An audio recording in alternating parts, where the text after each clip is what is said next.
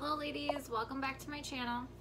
So today's topic is going to be about why I don't encourage you ladies to sit next to customers for more than a certain period of time.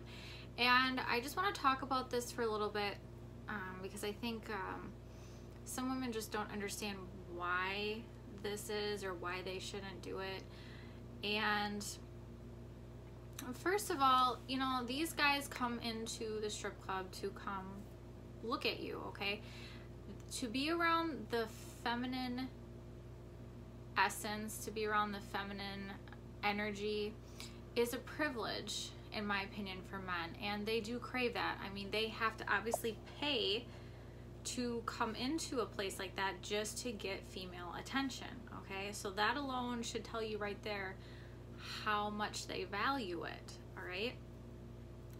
So if they have to do all that just to be around us, then, you know, you should be very cautious about who you give your time and energy to and to make sure that you are getting paid to do so because men will sit there and take it for free.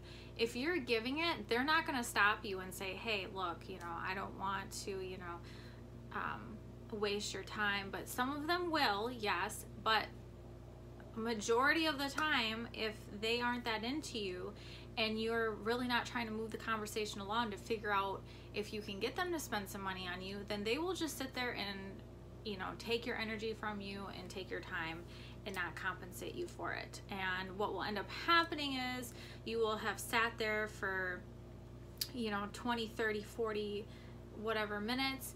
And as soon as he sees somebody that he was really waiting for, or some girl that just like his dream girl walks by, he's gonna be gone. And he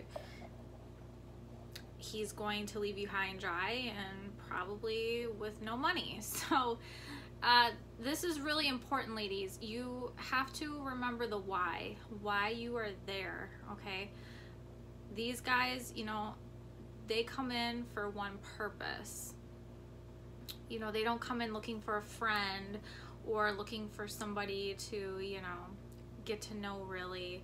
You know, at the end of the day, they're there to see your your stuff, all right? If we're gonna be like really real about it, that's why they're there.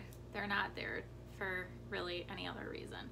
So just remember that, you know, you should only take five to 10 minutes of your time per customer, you know, to see if if they are going to spend money on you on you or not. Now, if they aren't spending money within that first, you know, initial time frame, then I always recommend to go back and check in on them because a lot of times guys will change their mind or they're maybe they're just not drunk enough or whatever the excuse of the day is but a lot of times when you go back later on you know you can get something out of them. But do not sit there and talk to them for the whole night even if it is slow okay? You do not want to do that all right? Even if you have to go sit by yourself or go back in the dressing room or whatever you got to do just do not do it. Your presence is so valuable, ladies, to these men that, like I said, we have strip clubs for a reason. Okay, men pay money to come be around you for a reason. So do not give it away for free because they will take it if you just decide to hand it off to whoever.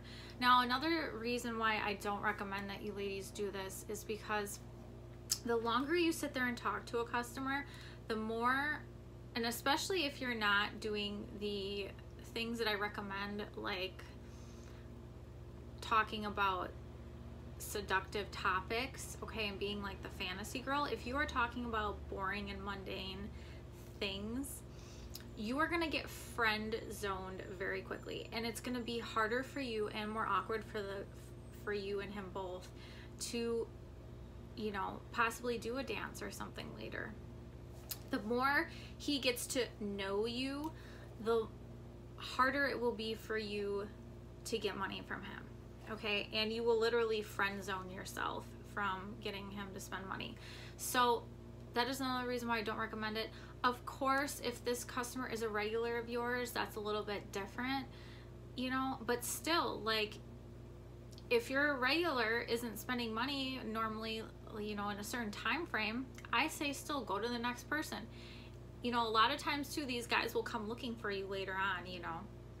It's not like you have to go scope them out every time or, you know, worry about checking in with them. A lot of times, you know, they will come up and ask you, you know, um, for something. So, ladies, please, please, please remember this. This is so incredibly important with your time at the club. You do not want to waste it on time wasters, okay? So if you ladies have any further questions, feel free to leave it below and we will see you in the next video.